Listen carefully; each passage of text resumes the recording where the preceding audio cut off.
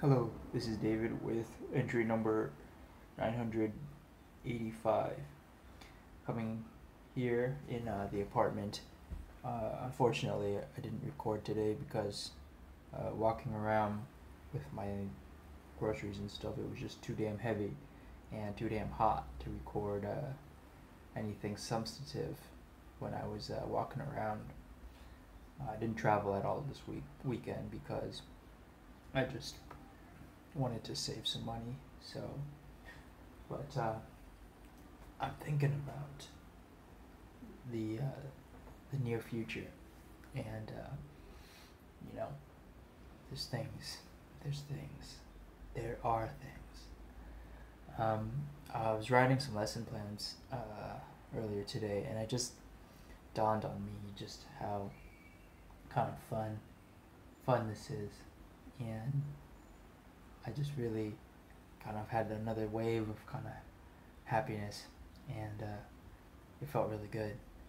Uh, earlier today, I went to the mall, and I got something called Zaru Udon, and um, you might know udon as like a thick wheat noodle.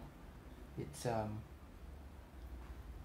I think it's fairly common in the U.S. now at like sushi places and stuff. And uh, the problem with with udon in the U.S. is that it's a very kind of pre-made, and then it kind of gets a because it sits in a airtight package. Usually, it gets kind of like gummy and gooey and slimy.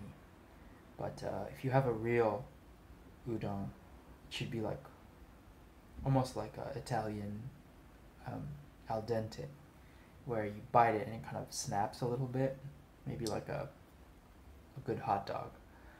And uh, zaru udon is a uh, is a separate, so the sauce or the soup is separated from the uh, actual udon, the noodles, and you just kind of dip dip them in the uh, in the sauce called tsuyu, and and you eat them, and uh, it's really nice and uh, I really I really enjoy it. And there's a spot at the mall that makes the um, the noodles fresh every day. They're not pre-made kind of nasty, gummy, slimy things like you have in the states. So I was really happy to uh, to try that. It's really expensive uh, for udon. It's like nine dollars or nine hundred yen, but uh, it's really nice. And uh, it came with tempura you know what's really interesting in Japan, like a small thing, is like in, in, in Japan they say tempura.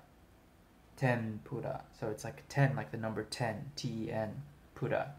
Whereas in the States,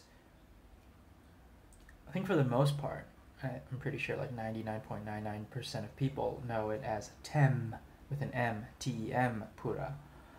Uh, but um, yeah, and then when it's abbreviated here, it's called 10, like the number 10, T E N. So what I got, what I ordered was 10 zaru udon. And it's really nice. It's really nice. The, the, the tempura was really nice. It was like a shrimp and eggplant and uh, fish cake. Um, in Japan, there's a lot of fish cakes, um, probably more than any other Asian country. Uh, granted, they could all be descended from Chinese recipes, but I don't know if China even eats that much fish cake anymore. Um, Japan and Korea both eat a lot, but Japan has tons of different shapes and tastes and colors and cooking methods. Some are fried, some are boiled, some are baked, some are, I don't know, stewed. I don't even, some of them are weird. But uh, the one we had today is called chikuwa, and it's traditionally shaped around a stick and then roasted over fire. So it has like a brown toasty outside and a really juicy kind of delicious, snappy inside. And uh, they sometimes they so it's uh, traditionally like a fried or, or grilled uh, uh, fish cake, but then they deep fry it for tempura, and it's really nice, really nice.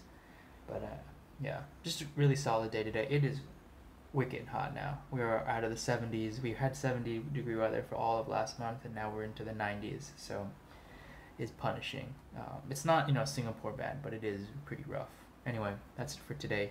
Thanks for watching, and I will talk with you later. Bye.